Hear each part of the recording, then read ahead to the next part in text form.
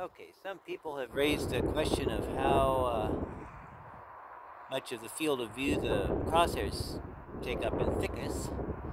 So first of all, I need to point out that they don't actually, oh, the wind's blowing me all over, they don't actually obscure the center.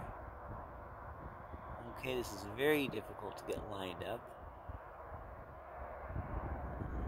If this is going to work. There, okay, there.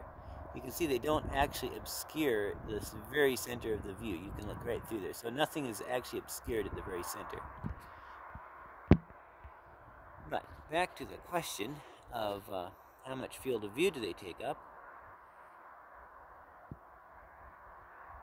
You can see from here that they take up each about maybe roughly quarter of a millimeter at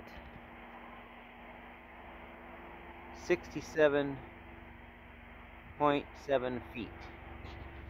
And that equates to be about roughly two and a half arc seconds. So that's not that bad.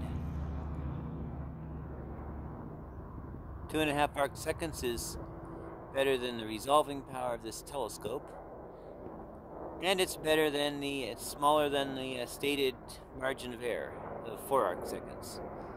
So the thickness of the crosshairs do not impede the use of this instrument.